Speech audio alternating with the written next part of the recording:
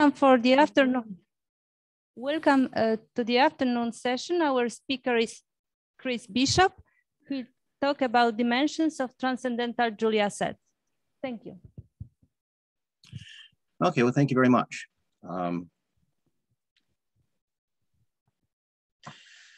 so this is mostly a survey of other people's work and a little bit of a recent work of myself, but for the last couple of years, the last two years, I've been working on things that were not really holomorphic dynamics. And so I don't have any brand new shiny uh, things to tell you about. Uh, the plan for today is to uh, review a little bit about Hausdorff and packing dimensions, which I expect you know, and to say a little bit about the differences uh, between the polynomial and the transcendental case, and then to talk about um, different examples uh, that are probably well known, but maybe not to everyone, uh, where the dimension is two or the dimension is between one and two. This is work of uh, Gwyneth Stallard, or dimension equal to one, which is the most uh, recent work uh, by myself. And also um, there's a new, new approach by uh, Kirill uh, Lazebnik and Jack Burkart. And then I hope I have time at the end to mention some open problems. So that's probably the most, the most interesting thing.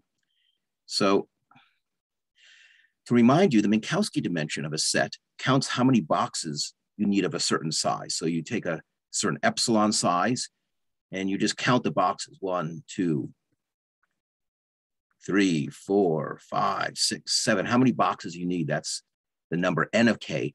And you divide the log of that by the log of epsilon. And so what you're thinking of is that the number of boxes sort of looks like epsilon to a power. And the ratio of logarithm picks that out. And if this limit exists, uh, we call that the Minkowski dimension. But usually the Minkowski dimension does not exist, uh, but the lim sup always does exist. And that's the upper Minkowski dimension. And that's something that we talk about more regularly. And so this is also called the box counting dimension. This is uh, sort of the most naive, the most uh, easy to understand dimension. It does have a couple of unfavorable properties though.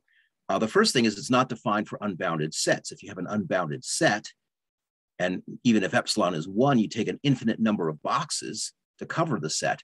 And so what you're doing is you're taking infinity over log of epsilon, and that doesn't, I mean, that doesn't give you a number, that just gives you infinity. So it's not going to be defined for unbounded sets. Also, for certain countable sets, like just a sequence one over n, you can prove that the Minkowski dimension that is one half uh, because it takes about root n balls of size one over n to cover that sequence. Uh, but really, it's, it's a countable sequence of zero dimensional sets. We like to be zero dimensional. And so the fix up Minkowski dimension, we define packing dimension, and there's several ways of doing it. But sort of the easiest uh, thing is where you just take a set and you break it up into pieces. So you break it up into a countable number of pieces, A1, A2, A3, and so forth. And then you take the supremum of the Minkowski dimensions of all of those. And so because you can take an unbounded set and break it up into a countable number of bounded pieces, uh, there's some chance that this will make sense for even for unbounded sets. And if you have a countable set, like a set of points, you just take your pieces to be one point each. Each of them has dimension zero. And so the packing dimension would be dimension zero the way we want. And so, uh, so packing dimension is usually what we use instead of Minkowski dimension directly. It has some nicer properties. Um, the most typical dimension, though, is the Hausdorff dimension. This is probably what most people know. It differs from the Minkowski dimension because you cover the set by squares of different sizes. You can use big squares or small squares. In Minkowski dimension, we're covering by squares of all the same size. But in Hausdorff dimension, you're allowed to cover by squares of different size. What you're trying to do is minimize the diameters of those sets uh, to some power alpha. And if alpha is very large, for example, the plane, if it's bigger than two, this will be zero. This infimum can be made as small as you want. But there's some critical exponent at which you cannot uh, make it zero anymore. That's the Hausdorff dimension. So I'm saying this pretty quickly with the idea that um, most people attending a conference on complexity of Julia sets know what uh, the different fractal dimensions are, but it seems worthwhile to, to mention them. Also because I'm going to be interested later on in the possibility that the Hausdorff dimension and packing dimension are different. Now, the Hausdorff dimension is always less than the packing dimension, but you can have strict inequality sometimes. And there's some well-known examples of this, but um, some examples come up very naturally in dynamics. And so we'll talk about those a little bit as we go on. Okay? Now for polynomials, uh, the Hausdorff dimension can take any value between zero and two. So there's the uh, famous picture of the Mandelbrot set here. I actually had a picture, a computer generated picture of the Mandelbrot set, but uh, this was when my talk, I timed it out to be about 80 minutes long. And I said, well, that's a little bit longer than 50. So I should cut things. And one of the things I cut was a picture of the Mandelbrot set. But what I intended to use it for was that if you had points in a parameter space which are far away, that the dimension is close to zero of the Julia set. But it gets closer to two as you get closer to generic points in the Mandelbrot set. So if Shishikura is here, he can explain this. This is his theorem that you can get all the numbers up to and including two. The same is true for meromorphic functions, and I believe uh, Walter already spoke about that uh, yesterday. Uh, what I want to talk about are transcendental entire functions, so no poles. And in this case, uh, the Hausdorff dimension has to be between one and two. And uh, the, the point of my survey today is to basically sketch a proof of this, to show that the dimensions have to be bigger than one, and then to give examples where they're equal to two, strictly in between one and two, and equal to two. And we will become less and less rigorous as we go on. So the proof for dimension two will be pretty straightforward. I'll sort of give the details for in between one and two, and I will wave my hands very vigorously um, for dimension equal to one. Okay, the idea is that for polynomials, getting getting numbers close to two is what's difficult, and getting a positive area Julia set, is hard. In transcendental entire functions, getting two is relatively easy. Most of the easy examples, like the exponential function, have that property. But forcing the dimension smaller is what becomes difficult.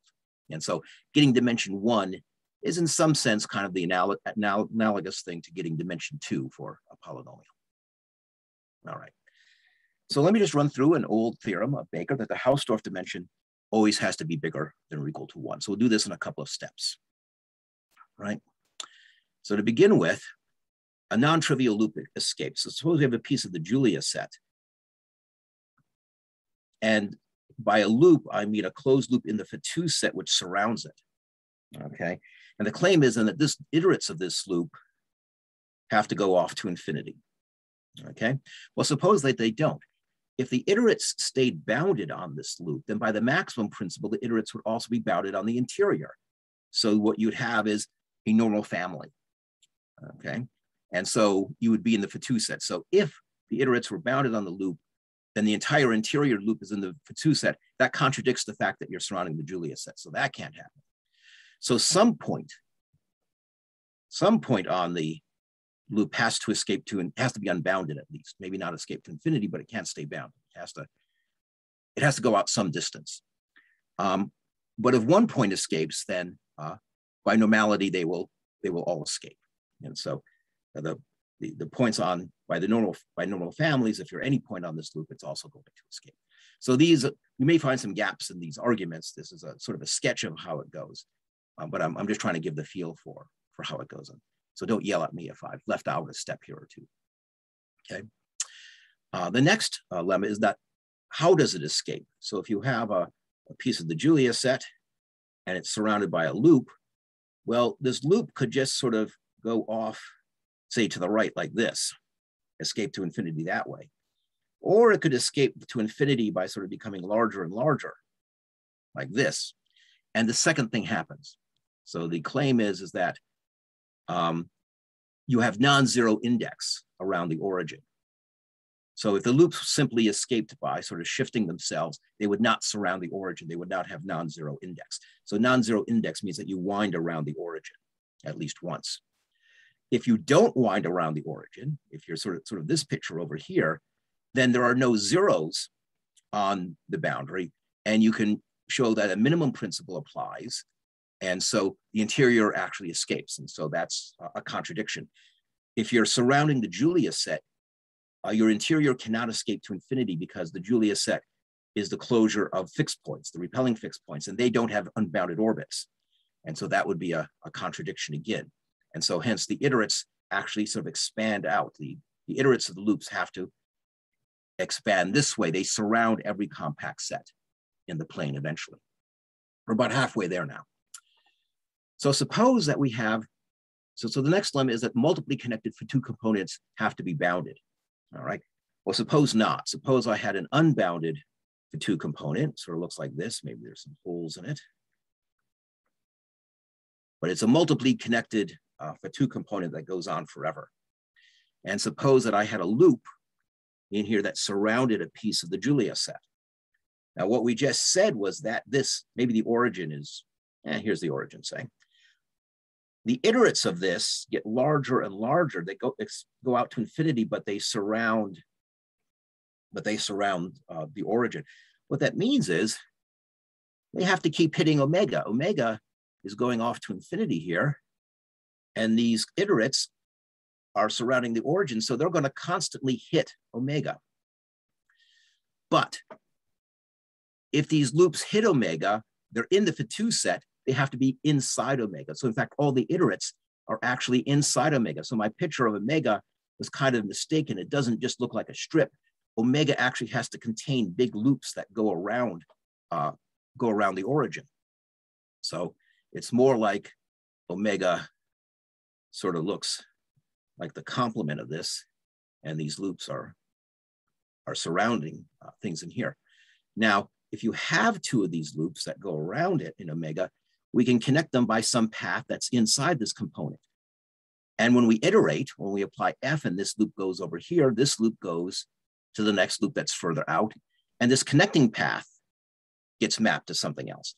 And what we get is, is that the hyperbolic distance between the successive iterates stays bounded. In fact, by the Schwarz inequality, um, it, it, it, has to stay bounded because the hyperbolic distance doesn't, uh, doesn't go up. And so what this means is that we can prove from this, again, I'm skipping a step here, is that the diameter of each loop is at most a constant times the diameter of the previous loop.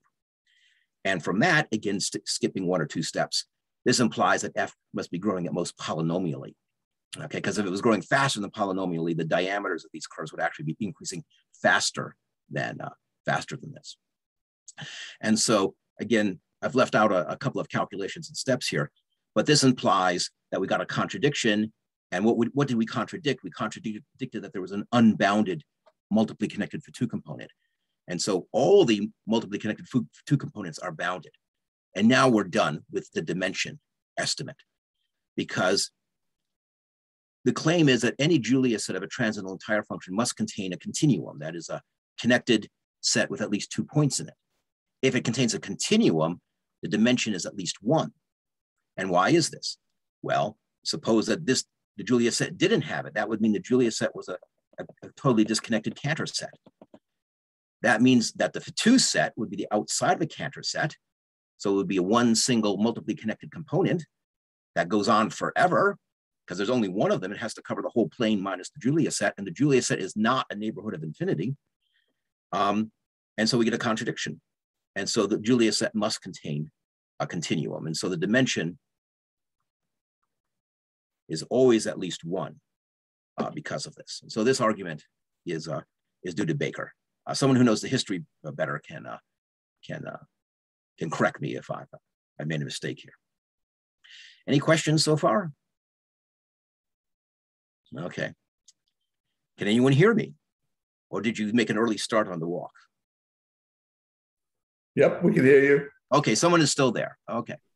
Um, so this is why the dimension is always at least equal to one. And so now what I'd like to do is briefly explain why you can get all the numbers between one and two. So as I said, we'll do dimension two, and then we'll talk about uh, Gwyneth Stallard's uh, proof that you can get between one and two. And finally, the more recent work that you can get dimension one. And as I said, things sort of get harder as we try to go down in dimension. Well, several famous examples have dimension equal to two. The, uh, the Julia set of the exponential function is the whole planes. That definitely has dimension two. And even if you take a, um, a multiple of it, for example, if you choose lambda you know, smaller than one, then this has a fixed point, an attracting fixed point. So there's definitely some Fatou uh, component there uh, you can get dimension two in area zero. Uh, what I think the easiest one to explain though is just taking the Cosh function and proving that it has a positive area. That certainly implies dimension two. So I put down a couple of slides to explain why this last uh, case holds. First, I have to talk about the escaping set. The escaping set I sort of mentioned briefly before without defining it. It's the set of points that iterate out to infinity. In general, the Julia set is the boundary of the escaping set for any uh, entire function. But if you're in what's called the Eremenko-Lyubich class, then it's the closure. And so in particular, the escaping set is inside the Julia set. The Eremenko-Lyubich class are the functions that have uh, bounded a singular set. So a singular set being the closure of the critical points and the finite asymptotic values. I don't know if anyone has defined uh, these classes uh, this week, but I expect um, I expect someone has. So later on, I'm going to talk, refer a little bit to the Eremenko-Lyubich class. It's the functions which have a bounded singular set into the Speiser class, uh, the functions that have a finite uh, singular set. Okay. Do I have to say more about this or are we okay? All right. So uh, here's a, a much easier slide, which is describing what the exponential function looks like. So the exponential function takes half strips and maps them um, to the outer half plane. The, the, the, the complementary uh, strip over here is mapped into the disk. The most important thing we want to know is though that the, uh, if you take a, a piece of it like this, it's mapped to an annulus that goes around like this, okay? So I think everyone, hopefully everyone at a complex dynamics conference knows what the exponential function does. The Cosh function is almost the same thing. It's basically just the exponential function, and then you follow it by the Joukowski map. And so it maps half strips the complement of a line segment, but it has the nicer property that instead of mapping the complementary half strip over here uh, into the disk, it also maps that half strip to the complement of a segment. So the cosine, the Cosh function is more or less um, uh, invariant under reflection across imaginary axis. Not quite the actual rule is this one, but both sides of the strip get mapped to the half plane. So in particular, a neighborhood of the imaginary axis gets mapped to a neighborhood of the segment, and things which are far to the left or far to the right uh, get mapped very far away from the origin, exponentially far away.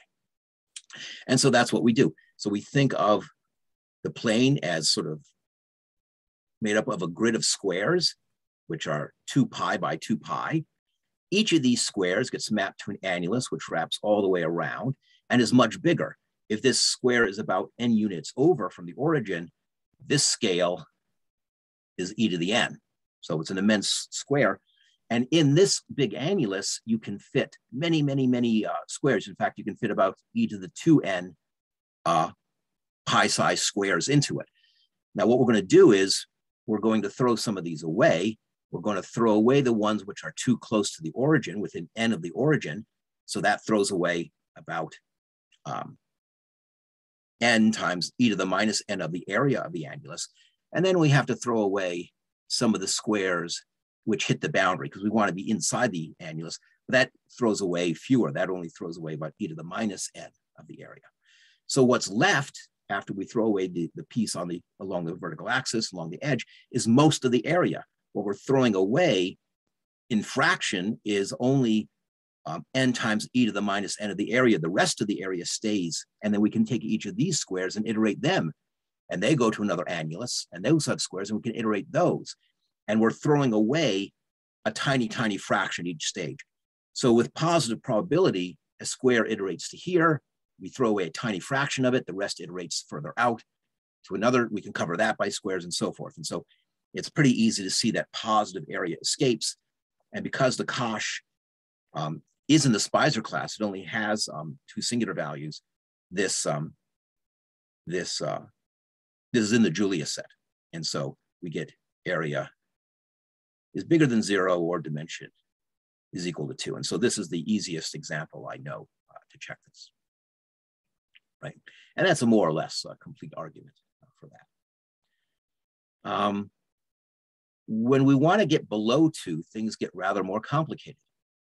And so we're going to move from sort of giving a more or less complete uh, proof to giving a kind of a hand wavy sketch of this. And so this, um, these examples are due to Gwyneth Stallard. Um, the presentation I'm going to make is my own, so any mistakes are my fault, not hers, obviously. Um, moreover, uh, she and Phil had proven uh, that when you're in the Eremenko-Lyubich class, the packing dimension is always equal to two. And her examples are in that class. And so in particular, that the Hausdorff dimension, the packing dimension are going to be different for all of these examples. And so I mentioned before that this can happen, and it happens fairly naturally in um, in transcendental dynamics, and this is a this is a case where this happens. Now, being in the Eremenko-Lyubich class means that the um, the set of singular values of the function is a bounded set. And you can ask, can you still make these examples if you're in the Speiser class, where you only have a finite number of singular values? So recently, uh, Simon Albrecht and I uh, did construct such examples, but we give a sequence of functions so that the Julia sets of these, these, these sequences tend towards one. We can get as close to one as we want, but we don't show that we can get everything. So basically, if here's one and here's two, you can get all of this in the Eremenko-Lyubich class, but so far we only know that we can get as close as we want. And so um, at the end of the open uh, end of the talk, when I, when I want to talk about open questions, uh, one of the questions will be, can you actually get all the, can you fill in all these gaps within the Speiser class? So I have an idea for how you might do that, but um, that is not worked out yet. So that, that that's still a problem to, uh, to be considering. So how do, um, how do the examples with dimension between one and two work? So it basically starts with a strip, okay?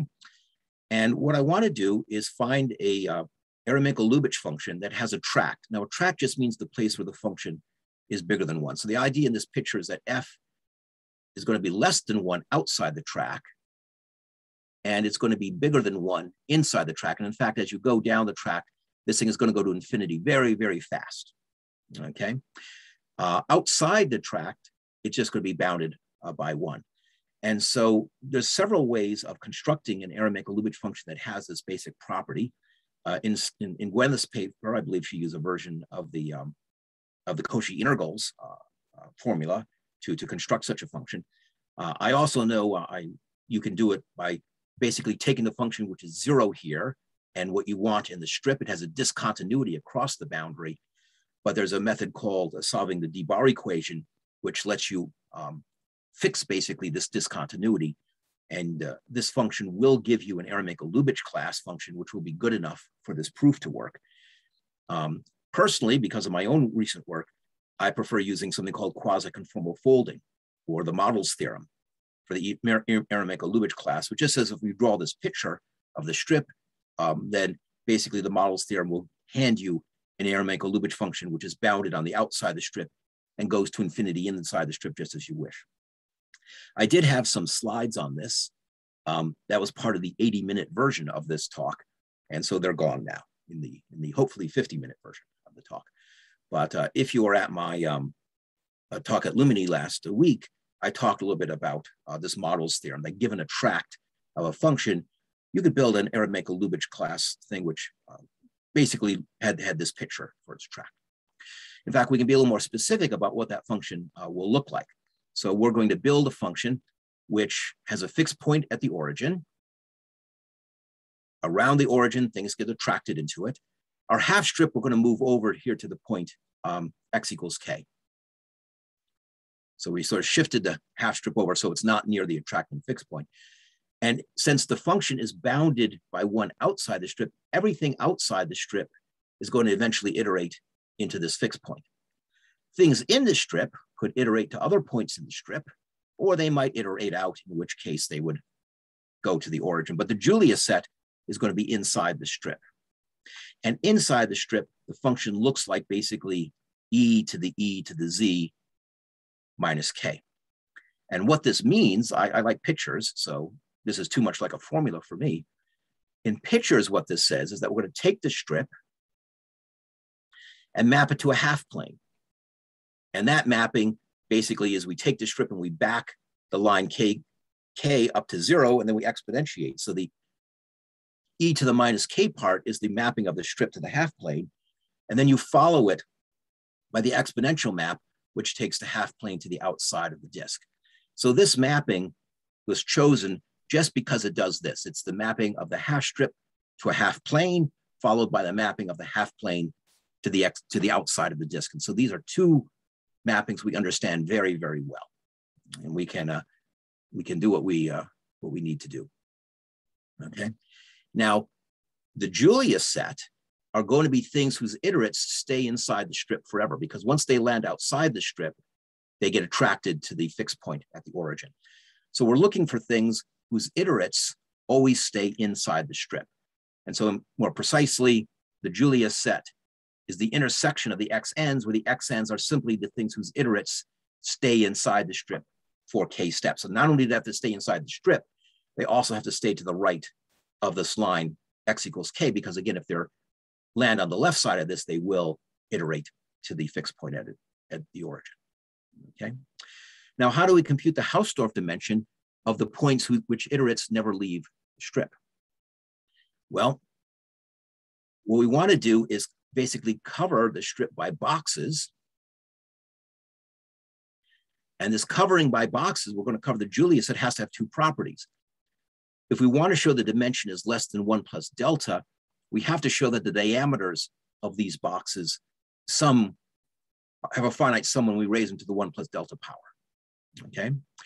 The second step is that if we take one of these boxes and we look at all of its pre-images, so if we take one of these boxes and then we look at it over here, and then it's going to have a bunch of pre-images in the half plane, and those are going to have pre-images in the strip, that when we sum the diameters of all of those pre-images for one box, we get something which is less than we started with. And so this is a way of taking a covering and then taking its pre-images to get a, a, a, finer covering. And the Hausdorff sum is smaller than the sum we began with. So every time we refine the covering, the, uh, the sum goes down. And so uh, this is a standard way of, of giving an upper bound for the dimension of something. And the main thing is that we want to be able to take this number a small, smaller than one, certainly, but in fact, you can take it as small as you wish if you take this k large enough. And we can do this because now it's a pretty a simple calculation. It's almost a calculation you could give to an undergraduate complex analysis class. Um, what does the pre-image of a disk look like? Well, if you start with a disk somewhere in the plane, kind of far away from the origin, uh, here, let me highlight it. Uh, my highlighter, so here's my disk over here. The exponential map is periodic. So the pre-images of this disk is a whole vertically stacked line of disks. It looks like this. And then the pre-images of these disks under the mapping from the strip to the half plane, well, this is a conformal map, it's one to one. So this line here simply becomes a line of disks like this. And the idea is I want to sum the diameters of all of these and compare it to diameter of the one I started with. But the mapping is an exponential function here and an exponential function here. So this mapping is expanding a lot. So when I take the inverse images of the disk, these disks are much smaller by an exponential factor. And then I do this again, each of, whoops, what happened? Sorry, I accidentally changed the scale. And each disk here maps to something which is exponentially smaller here. So these disks are incredibly smaller than the disks we started with. So this should not be very hard uh, to do. And in fact, um, because the inverse map is basically the logarithm and the derivative of the logarithm is one over z, uh, we have a formula that if we start with something of radius r, the pre-images in the middle here, they have size r over mod w. So you take the radius and divide by how far from the annulus you are, sorry, and that gives you the first step. Now, once you're here and you're going backwards, again, this map is also a logarithm. It's the inverse of a uh, exponential. And so you get to take the radius here and divide by the distance to the origin. And here, basically, the distance to the origin is how high you are. So here, what you get to do is you get to divide by a factor of k, where k is how many steps up you are. And the secret is, well, sum of one over k is finite, uh, is infinite. That would be infinite. But we get to raise the whole thing to a power bigger than one. And so this is going to be a, a sum of one over k to the delta. And so this is going to be all right. And so if you work out the arithmetic, here's the arithmetic worked out in a little bit more detail. But basically it says that if you take a disk and take its pre-images under two exponential maps and sum the diameters of what you get, it's much, much, much smaller than what you started with. And this is what uh, proves that you can, um, this is basically the estimate that proves that you have dimension as close to one as you want. So I have not proven that um, you get all dimensions, I've just shown you you can get dimensions that are close to one, but uh, but Gwyneth in, in her papers did show that by doing a continuous variation of this picture, you can actually attain all the dimensions between one and two. So you can get everything uh, in here. Okay. Oh, here was my attempt to draw a picture of uh, this set. This is a, basically, I just took um, this ex double exponentiated map and I put it in MATLAB and I said, iterate points until they leave the strip and color them white. And if after 10 or 11 iterations they haven't left, color them blue. And this is the picture you get. It's not a very good uh, picture. I'm sure Arnaud could tell me how to draw a much better picture of this example. Uh, in general, I don't understand how to draw effective pictures of transcendental Julia sets. I would really uh, like to do that better. So um, I think that's a whole area uh, of, um, there's a few experts in that. Uh, like Lasse can, can draw pictures, I think, and, and Arnaud Chéritat, but uh, other than that, it's, it, it's, it's a very skill set limited to very, very few people. I would like to see more pictures like this. Now, uh, Simon and I had shown you can get these dimensions very close to, um, to one in the Speiser class. And so um, for many years, I thought the argument was, well, you just take the argument we just did due to, to Gwyneth, but now just take a Speiser class function, uh, which is growing to exponent, which sort of looks like e to the e to z in the strip and looks like it's less than one outside the strip, and then just repeat the proof we just had um, because the quasi-conformal folding theorem ought to, um, ought to give you this. But it was Simon who pointed out to me that in fact, you can't. The folding theorem does not uh, allow you to do this. And in fact, not only does the folding theorem break down for this particular um, tract, there's no tract, there's no Speiser function, which in a precise sense has a single tract which looks anything like a, uh, a strip you can't even make it look like a quasi-conformal image of the strip. So if you try to re replace it by anything which was a, a, a planar quasi-conformal image of a strip, there's still no Speiser class function that, has that for a tract. And so this picture is sort of out um, for, for doing it. You don't have to go very far though. The problem with this tract is that the complement is too large. If you look at the complement in the half plane, it sort of looks like a sector of angle 2 pi. So the strip is basically looks like a line and the outside looks like it, it has an angle of two pi. That's too big.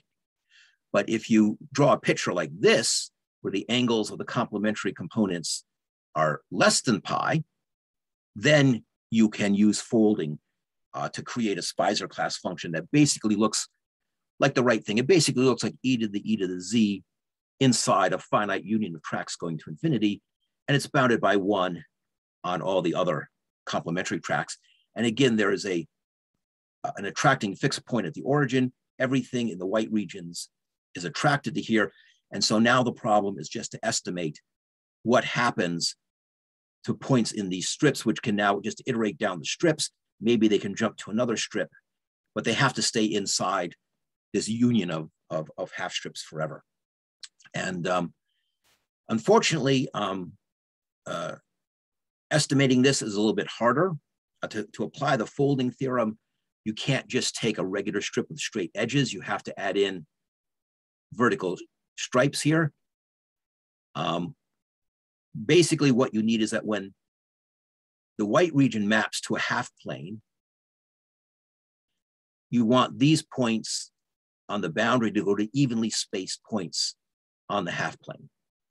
And when you map the inside, to a half plane, you want those same points to also go to an evenly spaced sequence on the half plane. Now the trouble is, inside the strip, the map looks like e to the e to the z, and on the outside, it looks like a power of z because it's a sector. And it's rather hard to make a double exponential look exactly like a power function. And so what you what the what you do is that these strips basically um, are putting strips in here and then when you undo the strips, uh, you can actually force these two functions to be more or less equivalent. And so there's some, some dozens and dozens of pages of estimates uh, going into this. I won't uh, go into great detail here. The point is, is though that when you take the pre-image of a, of a disk, so you would take a, a disk over here, and we want to know what its pre-images look like, they sort of follow the boundary like they did before. But now the boundary has these loops, and so the pre-images actually go up and down like this. They sort of follow around the boundary. And so there are many estimates estimating, well, how far apart are these vertical strips? How tall are they? Things like this. And so it does work out in the end. Um, you can get this. And the number of the number of strips going off to infinity, this n, this gets larger and larger as we want the dimension to get smaller and smaller. So we only get a sequence of dimensions, which is tending towards one. And so I we don't yet know how to make this sequence into a continuous family because there's sort of an obvious, I mean, the star sort of imposes an obvious discrete property that there's only a only a certain finite number of, of, of strips going off to infinity. If there's some way to make this sort of a into a more continuous like family, that would maybe work. But um, at present, kind of stuck on that one. Finally, we get to a dimension equal to one. And here I will say uh, very little. Um, I given an example where you could actually get both the Hausdorff and the packing dimension equal to one. Uh, my, my example is based on infinite products. It's, uh, it's somewhat technical. Uh, there's a new, more geometric proof uh, uh, by Jack and Kirill. I don't know if, um, if they've spoken about that yet, but it's, it's in the works and it is coming. Both proofs are based on similar geometry. So I'm going to speak so vaguely that that the next couple of slides apply to both examples together, really. Um, the idea is to imagine you have an entire function, which is like a cartoon of an entire function. We cut the plane up into a number of annuli, like I've shown here, and then you, we're going to think of as each annulus maps to the next one. Okay, and so each of these annuli you should sort of think of as one of these escaping multiply connected Fatou components. And each one maps to the next one by a power function but we're basically taking powers that are getting larger and larger. So it's not a single polynomial. We have like a z to the fourth, and then a z to the eighth, and then a z to the 16th, and then z to the 32nd, and so forth. Okay. At the origin, well, you can think of the origin as maybe being an attracting fixed point. So things actually get sucked in there. In practice, we usually use something else. Maybe we use some kind of polynomial um, near the origin so that there's some Julia set and some Fatou set near the origin. So we want around the origin, we want to make sure that there's some Julia set here and also some Fatou sets. We want, um, we want something interesting to be going on at the origin. And then away from the origin, uh, the rest of the plane is sort of iterating off to infinity. Now, this is not an entire function, right? Because if I have z to the fourth on one annulus and z to the eighth on the other one, there's a pretty bad discontinuity along along this. But again, we can just think mentally of sort of smoothing this off. So near the center of the annulus, it really does look like a power very, very closely with a little tiny, tiny error. But near the edges of the annuli, well, it only looks like a power approximately, okay?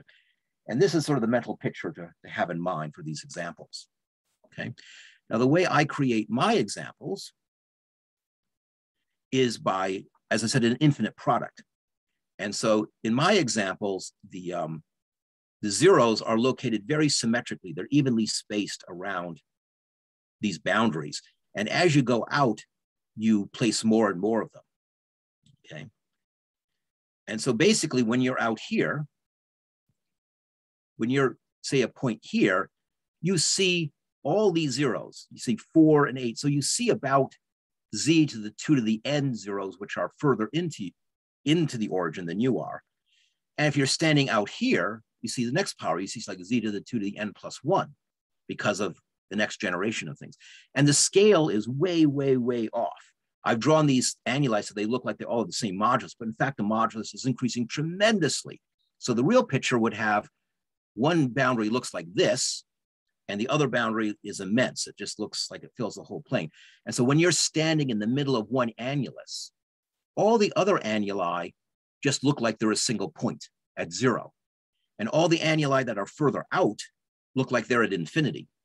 So in the center of any annulus, you don't see anything except maybe for this one string of zeros, which is close to you. But everything else closer to the origin is really concentrated at just one point near the origin. And everything that's further away looks like it's near infinity. And so what this means is, is that because of the symmetric placement of these zeros, um, the annula, annulus looks like it's almost rotationally invariant. If I were to take and rotate by this much, the picture is basically unchanged. Um, you would say, well, this thing doesn't iterate here, it only goes halfway. But remember, on this scale, these points are really look like they're all concentrated at the origin. And when you rotate the origin, it doesn't change. These points are way out. Well, these points would also be symmetrically uh, invariant under this rotation, but they're very far out as well. So in some sense, these two components will look like they're almost rotationally invariant, at least under this small rotation. And so what we expect is that their boundaries are sort of periodic going around the origin. They should almost look circular. And the further out we go, the more, the more zeros there are, sort of the more circular these boundaries should be. So this is in very big quotes. The boundaries should be almost circular. Now, the way that you uh, prove this, that this actually happens, is to notice that when you have these zeros, there's some, remember, there's some Julia set and some Fatou set near the origin. And if you have a zero, that means that the neighborhood of this zero is getting mapped to a neighborhood of the origin. So whatever is happening near the origin is being replicated around each zero. So there's some Fatou component and some Julia set around each of these points, okay? Now the mapping, actually the way it works is that the mapping takes the inner component of this annulus to the outer thing. This is our, sort of looks like two to the z to the n map. But these zeros also get mapped. Their, their boundaries also get mapped out to these. That's, that's what happens in this picture, okay? Now, what happens on the next annual out? This picture is replicated out here. Okay, so there's some zeros out here, and there's some Fatou component boundaries, some Julia set out here. And if we take the pre-image of these, they don't land here because these things go to the boundary. So these things must land somewhere else. So what we can deduce is, is that because of the zeros at the next stage out, there must be a second ring of boundary components of this Fatou component. All right. But that means that this second ring out here also has a second ring. The same argument says there's not just one ring of, of components, there's a second ring. The pre-image of the second ring is going to be a third ring in here.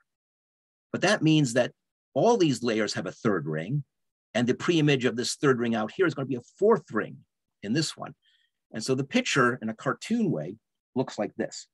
Now I just drew this by hand, uh, basically, this is not an actual picture of the Fatou component, but this is topologically what this one will look like. So we can prove that uh, this is actually uh, the, the basic, basic picture. And the, the boundary curves is not quite a circle. Maybe it's a circle. I don't know how to prove that, but it is C1.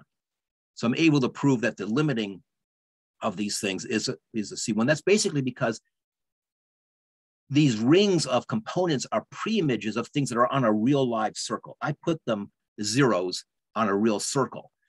And I'm taking the pre-image under a thing that basically looks like a power plus a little tiny error. So the pre-images of these things lie on something, if there was no error, they would lie exactly on a circle. But there's a very tiny error, so they lie on a slight perturbation of the circle. But I can basically make that small. That epsilon looks like two to the minus two to the n. It's a very small error. And so uh, the, the, these, these components accumulate on something which is at, at least C1, if not better. Now, one of the odd things is that I, I can't see how to prove it's C2 or anything better than this. So the technique um, sort of breaks down, but I suspect it is, it is smoother. I just don't know how, how to do that. So each Fatou component is bounded by a countable number of smooth curves, and hence it is uh, one-dimensional. And then you have to give another argument to say that the buried points, so this picture is sort of replicated inside each. So in each picture here, you have a sort of a similar picture that goes on. And then in each of these components, the picture goes on again. And so there are some buried points that are not on the, on the boundaries of any of these things, but you can show they have this very small dimension. They don't count. And so we get is the dimension equal to one example. Now, there are lots and lots of uh, questions which I, I don't know how to do. Um, you could actually show this example I was describing has finite one-dimensional measure on the sphere. It's an unbounded thing on the plane. So these boundary curves have infinite length as you in the plane, but if you think of them as accumulating as small circles accumulating at infinity, the lengths actually are summable. And so this is a, has a finite length measure, but you can't put it on a rectifiable curve. If you try to connect up these, all these components by a curve, I prove that that has infinite length. And so I can't connect the, the my example up onto a, a curve, but I can't prove that you can never do it. So this is a question. Can it lie on a rectifiable curve? If you want a meromorphic function, then the Julia set can lie on a line, which is just a, a circle going through infinity. And so that can happen for meromorphic. Um, now, we just heard earlier in the week that any Jordan curve can be the boundary of a wandering domain. And so it's not an open question whether you can make it smooth or not. It's really just a question for these examples, the examples giving the minimal dimension one, whether you can make these boundary components uh, smooth or not. So I think that would be an interesting thing to investigate. Now, in terms of the packing dimension versus the Hausdorff dimension, um, this corner up here, the 2, 2 corner, this is like the exponential function. This is the Misiurewicz and McMullen.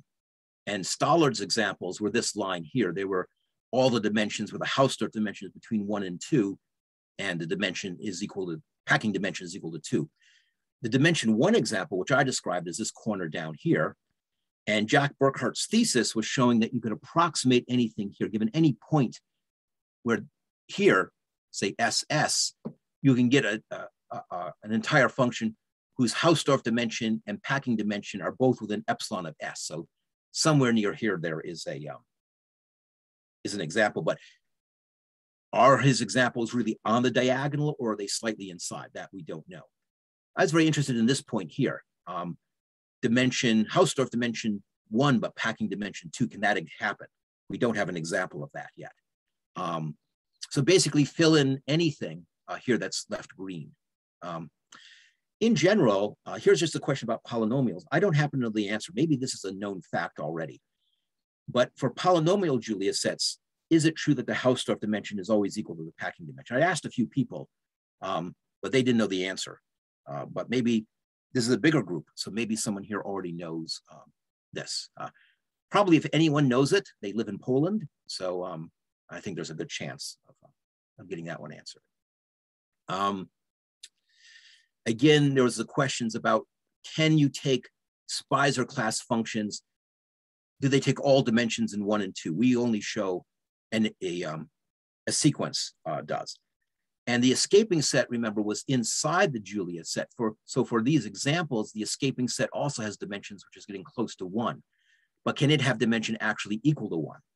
I think that does happen. I was thinking of assigning that to a graduate student. I have a kind of an idea how it might work. So um, that one I'm hopeful about. Um, now, Eremenko and Lyubich show that if you take a Speiser class function, f, and you consider all the functions you can get by pre and composed composing by a quasi-conformal mapping to get a new holomorphic mapping, this forms a finite dimensional manifold. These are the things that are called quasi-conformally equivalent to F.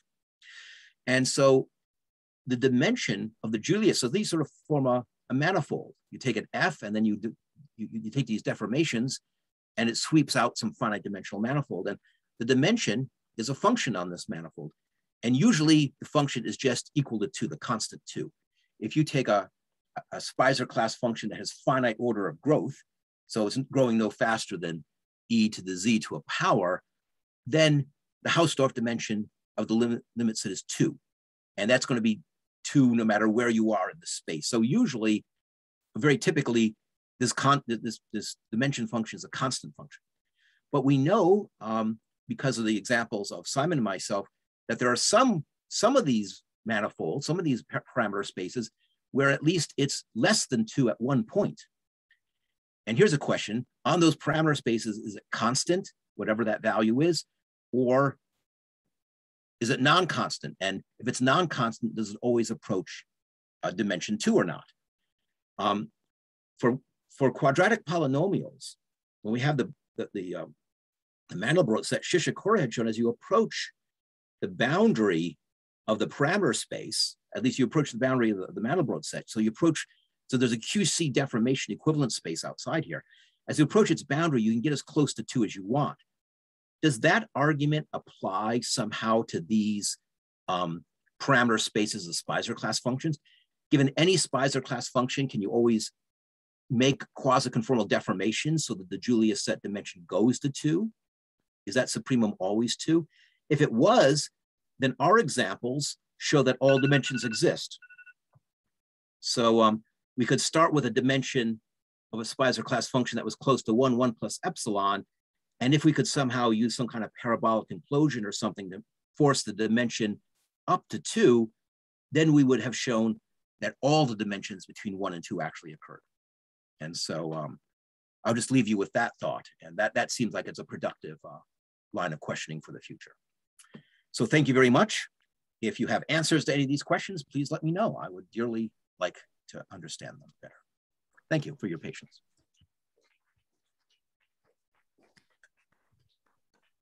Thank you for the. So, oh, I see there's still a few people in the audience. Okay. a surprise, but very gratifying one. Um, were there any questions? Thank you for your inspiring talk. And are there questions, comments, solutions? First, from the audience, maybe? No? From online participants? So if I was discussing your particular work, I hope you don't feel insulted or that I did a bad job. You certainly can break in at this point to, uh, to make any corrections that are necessary. No, it was great. Thank you. uh, maybe I have a remark. Probably Gwyneth should uh, say this, but if I remember correctly, you have a paper, Gwyneth has a paper with Lasse Rempe where they prove that the dimension of the escaping set can be one for an entire function. Yeah, I so think that was in the Eremenko-Lyubich class. I was asking about the Speiser class. Oh, Speiser class. Okay, yeah, okay, so, okay. Okay. Yes, okay, if I'd okay. had 60 minutes to talk or 70 minutes or 110 minutes, I definitely would have tried to fill in all these other uh, things. Yeah, yeah okay, okay, okay. So, mm-hmm. yeah, so yes, so there is a is an example in the Eremenko-Lyubich class mm-hmm. where the okay. dimension is equal to one. Basically, um, you can sort of use these perturbation methods to show mm-hmm. that um, if you can make the Julia set dimension go down to one, then the escaping set is even smaller. And there, there's sort of an argument that says, well, the escaping set has to be equal to one in those examples. I don't know how to replicate that argument in the Speiser class. That's the sticking point. At present, our Speiser class construction is very combinatorial. So mm-hmm. when we take one of our examples, it's determined by one of these folding trees, which is sort of a fixed combinatorics. Mm-hmm. And if you try to, to break the combinatorics, it's not clear what happens. You're sort of in a different moduli space of the Speiser class. And so um, maybe one little simple one sentence observation will be enough to, to do it. Mm-hmm. Uh, but I haven't seen that. I, I think it's going to be difficult. It was embarrassingly hard to, um, to construct the examples of the Speiser class functions with dimensions going to one.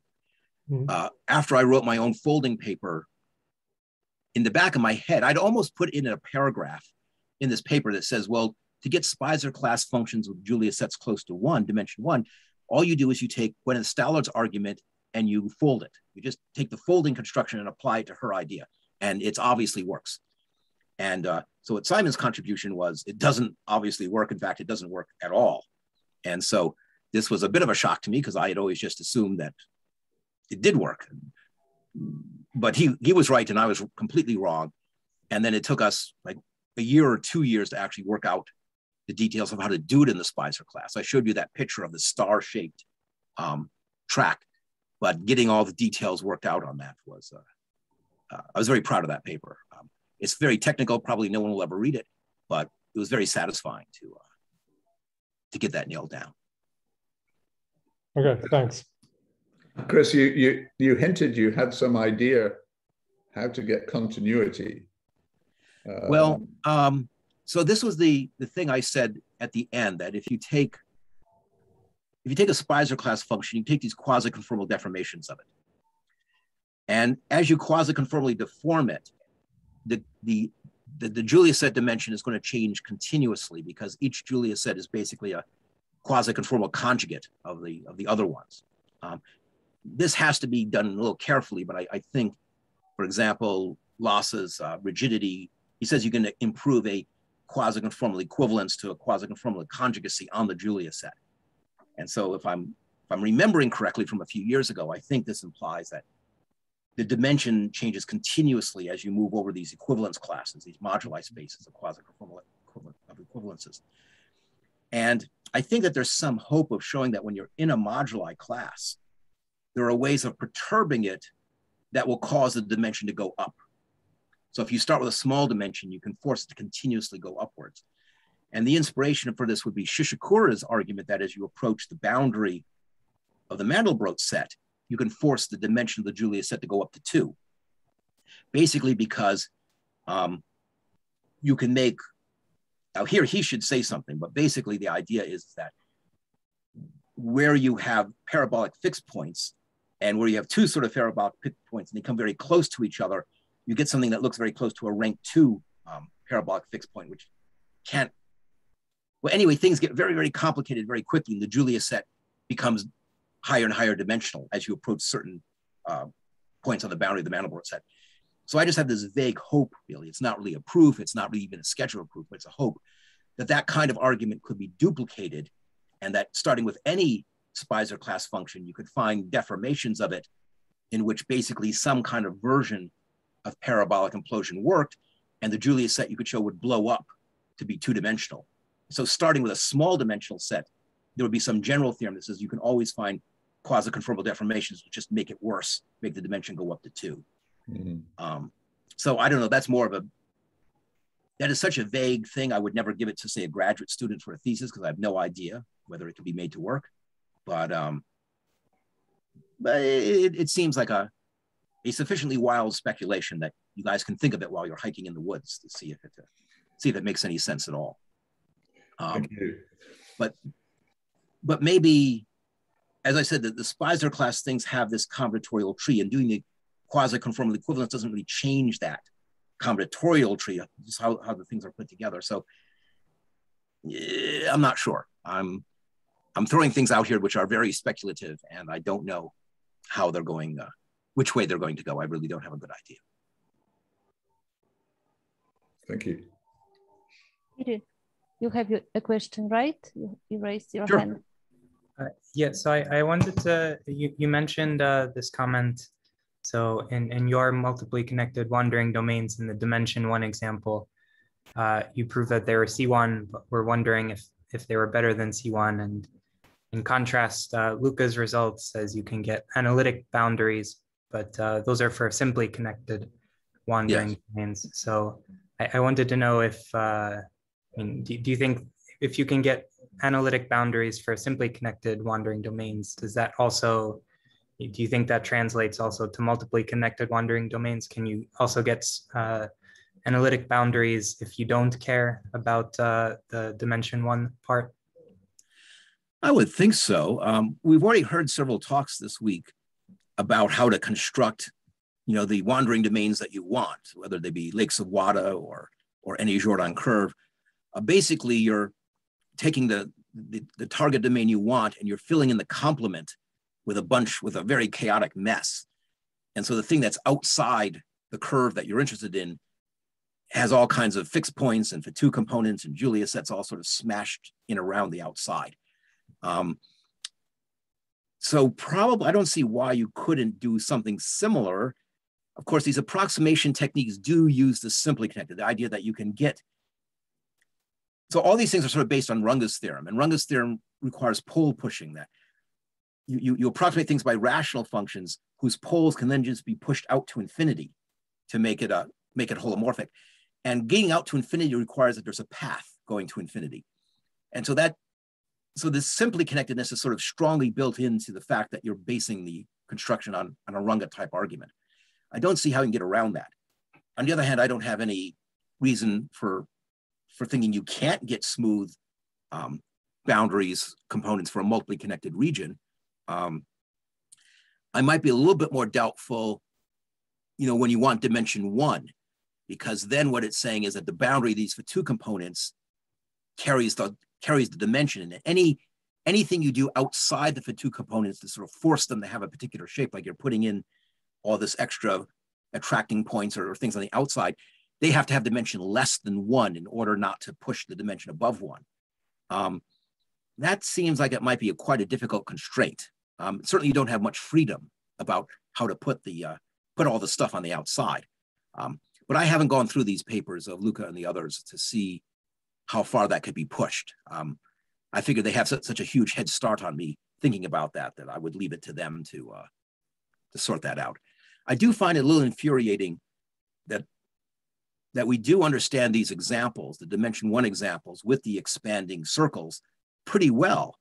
Uh, topologically, we know exactly what the, the combinatorics are, and we know where the orbits go, and you know which orbits go back to the origin and which ones escape, and you know we can sort of write down a symbol dynamics for for everything. We can point to anything in the picture and say what happens to that point. Um, but the the estimates that I use, and, and presumably you use in your paper with Jack, um, are good for showing that we get a a C1 convergence, that the tangents exist and the tangents move continuously. But showing those tangents move a little bit better than continuously, like even it's C2, that my argument is so geometric, I don't see how to do that. It's sort of an argument about tangent lines. And that if you have points near each other, the tangent lines have to be almost parallel to each other, otherwise you get a contradiction. And so that implies that they're not, there's no jumps, they're moving continuously. But I don't see how to improve my argument to, to something better. Um, probably just have the wrong argument. Um, the, these, the, these boundary curves, in some sense, are the limits of circles under pre-images of z to the n plus a tiny error, where the tiny error is really, really tiny. So they ought to be circular or very close to circular. And that point of view should be able to give you higher smoothness. The problem is that the boundaries are not the image of a circle under an arbitrarily good map. They're images of different circles under different maps, and you're taking a limit of that. If somehow you were taking the image of a single circle under a single map, that would be easier to deal with. Um, so I'm babbling. I'm sorry, I don't mean to babble. Um, but yeah, I'm just personally frustrated on that, uh, that particular issue.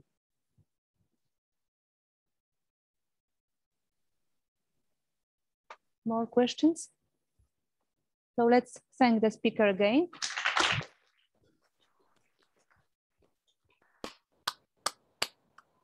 Thank you. And uh,